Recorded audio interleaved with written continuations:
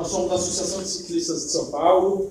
Uh, nós acompanhamos o sistema desde 2012, quando ele foi implementado. A gente quer protocolar algumas, uh, alguns indicativos né, de diretrizes e exigências para esse sistema, sem defender um modelo ou outro, sem defender permissão ou concessão. Na verdade, a gente não entrou nesse mérito ainda, mas a gente quer protocolar isso. A gente fica muito feliz de ver que a nossa nosso diagnóstico de problemas e de indicação de soluções foi colocado no slide, no relatório que nós fizemos junto ao ITDP, que seria muito legal, que o ITDP tivesse a mesa apresentando as soluções pelo mundo e não eventualmente um outro lobista, mas é interessante ver aqui que uh, o sistema, e é o, né, eu acho que é um consenso, o sistema de São Paulo é absolutamente ineficiente na cobertura territorial de 8%, né, no atendimento de menos de 25% do que ele deveria atender hoje, e na concentração dos locais apenas uh, de maior renda da cidade de São Paulo. Né? E a gente, na verdade, tem buscado resgatar um pouco aquilo que a gente conseguiu nos últimos anos avançar no quesito de marcos legais. A gente conseguiu incluir no plano diretor estratégico as,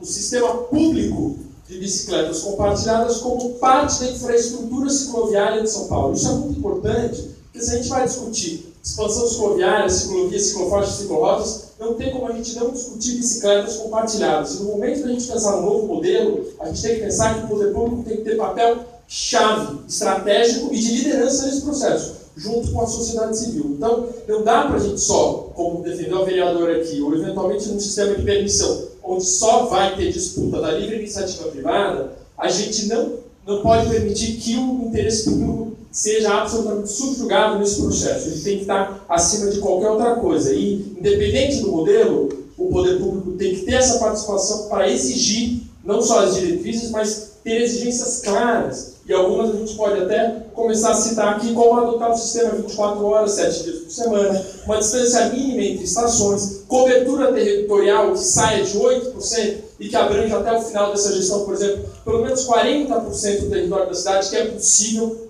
permitindo ainda assim adensar a cidade em vários pontos dela, implementar o acesso de bilhete único pleno, né? não apenas sendo uma máscara, mas tirando a obrigatoriedade do cartão de crédito, permitindo que você, através dos créditos do bilhete único, você consiga liberar. Isso é plenamente possível, em outros lugares do mundo já é feito. Você adequar as estações à rede cicloviária implementada. Hoje você tem é, sistemas cicloviários implementados, as estações estão longe. Às vezes você sai do terminal de trem de metrô e a, e a estação de bicicleta compartilhada está três, quatro ruas atrás e ninguém sabe que ela existe.